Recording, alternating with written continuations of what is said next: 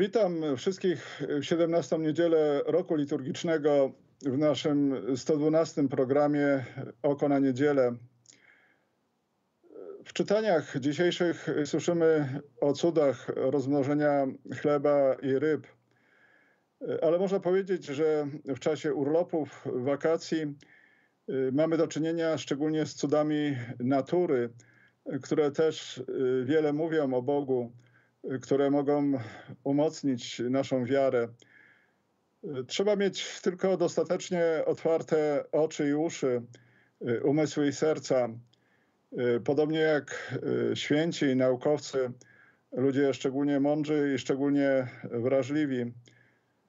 Na przykład święty Franciszek z Asyżu, kiedy chodził po kamieniach, stąpał po nich zawsze uważnie, z szacunkiem. Kiedy pewnego razu na klasztor i okolice spadł śnieg, co było rzadkością w tych okolicach, powiedział braciom, że dzisiaj nie wychodzą na zewnątrz, żeby nie podeptać śniegu i będą to cudo natury podziwiać tylko z okien klasztoru. Prosił też brata uprawiającego ogród, aby nie hodował jedynie roślin jadalnych, ale zostawił także kawałek ziemi dla braci kwiatów. Tak, y, natura może wiele mówić o Bogu, y, także naukowcom. Na przykład wielki fizyk i matematyk Isaac Newton y, przechadzał się kiedyś po oceanicznej plaży. W pewnym momencie zatrzymał się i wykonał pełen szacunku ukłon wobec oceanu. Co robisz, mistrzu? Zapytano go. Pozdrawiam potężnego Boga. Tak, szczególnie taki cud natury jak olbrzymi ocean był dla niego znakiem, obrazem Boga. A ja też zauważyłem na moim uniwersytecie, że pośród studentów teologii wyjątkowo dużo jest takich, którzy wychowali się właśnie pośród natury na pograniczu lasu i pól uprawnych. W zależności od rocznika stanowią y, jedną czwartą albo nawet jedną trzecią studentów i studentek. Y, także błogosławiona Karolina Kuskówna wychowała się w takim miejscu y, na pograniczu lasu i pól. Zapewne mieszkanie, życie w takim miejscu pomaga w odkryciu znaczenia Stwórcy, naszej zależności od Niego, y, kiedy codziennie budząc się i zasypiając, widzi się cuda natury, y, kiedy z nimi obcuje się przez cały dzień. Y, ludziom zamkniętym tylko w miastach, pomiędzy budynkami, wytworami ludzkich rąk, nieraz trudniej jest dostrzec te cuda natury. A właśnie teraz, w czasie wakacji, urlopów, mamy szansę, żeby zbliżyć się do tych cudów, żeby je kontemplować, żeby je poznawać. Y, to może być też o wiele więcej warte niż czytanie y, książek, które nie zawsze są dobre. Y, na przykład ostatnio słyszę o ludziach, którzy na wakacje zabierają książki laureatów Nagrody Nobla z ostatnich lat i poczytują sobie za punkt honoru, żeby je przeczytać. Y, strasznie się nad nimi nieraz męczą, a kiedy ich zapytać, czy ta lektura ich rozwinęła, czy coś nowego zrozumieli, pojęli dzięki nim, y, to trudno im coś takiego powiedzieć. Y, dlaczego to jest tak często bezużyteczna lektura? No dlatego, że Komitet Noblowski ostatnio w kwestiach literatury został opanowany przez skrajnych ateistów, skrajnych lewaków, wyznawców lewackich ideologii, którzy z natury rzeczy tą Nagrodę Nobla przyznają właściwie wyłącznie podobnym sobie skrajnym lewakom i skrajnym ateistom. Y, takie towarzystwo wzajemnej adoracji. Y, dlatego te książki są często bezwartościowe. Jeżeli ktoś myli się w tak podstawowej rzeczy jak istnienie Boga, to musi się mylić w tysiącu innych rzeczach. Nic dziwnego, że jego teksty są pełne różnych ateistycznych bredni Y, które nie tyle pomagają, co szkodzą. Mogą być trucizną y, niszczącą umysł. Y, czegoś takiego naprawdę nie warto czytać, takich ateistycznych miazmatów. Zamiast tego lepiej czytać książki naprawdę mądrych, świętych ludzi, wielkich myślicieli, naukowców. One mogą nam coś naprawdę dać. Właśnie to jest miara wartości lektury. Czy czegoś nowego, ważnego się nauczyłem, coś nowego poznałem? Jeżeli nie, no to raczej nie warto było czytać. Po prostu ateiści, a szczególnie pisarze, literaci, no raczej nie wymyślają nic specjalnie nowego. Mogą najwyżej zestawiać y, idee innych ateistów, jeżeli sami są ateistami. Y, tam trudno znaleźć coś specjalnie nowego, mądrego.